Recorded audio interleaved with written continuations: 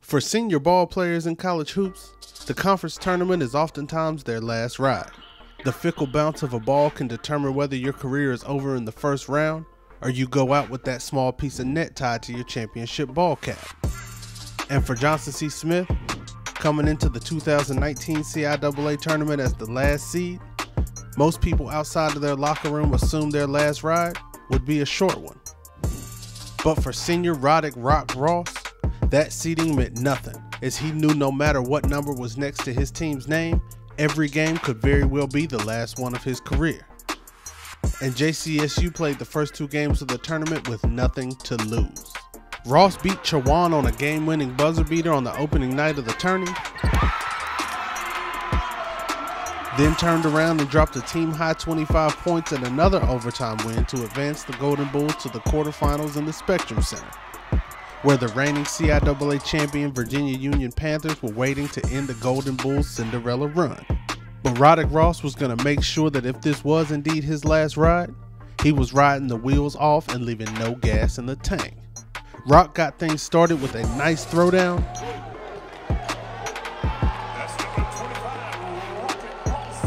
But Virginia Union came out the blocks hot and showed why they were the reigning champs.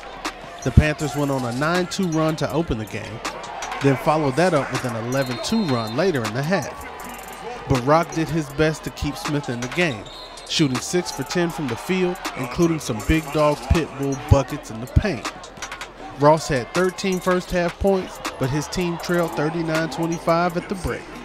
But coming out of the locker room, Roc Ross balled out like he knew no matter the final score, he was about to leave his heart and soul on the Spectrum Center floor and not by shooting a bunch of desperation threes or forced drives to the bucket. Nah, Roc Ross reached deep down in his bag and played some of the most inspired basketball we'd seen all season long. Roc was finishing strong at the rim. He found teammates on the wing for three.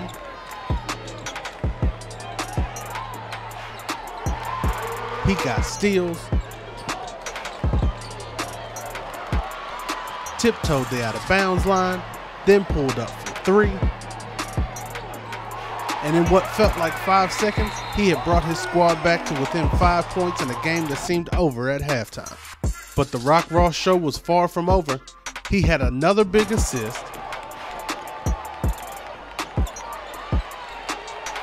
followed by a huge three,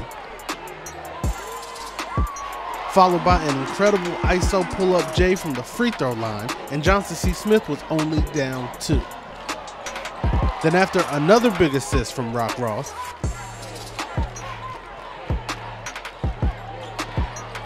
the Golden Bulls had tied the game up, and it looked like Smith's Cinderella run might just roll into the semifinals.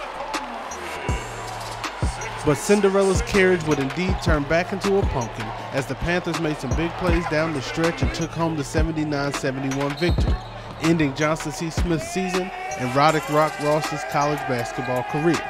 But his last ride was one to be proud of 39 points, 4 rebounds, 3 assists, and 0 reasons to hang his head in defeat. Because when you go out having given your all on a basketball court, you don't need a piece of net to prove you're a champion.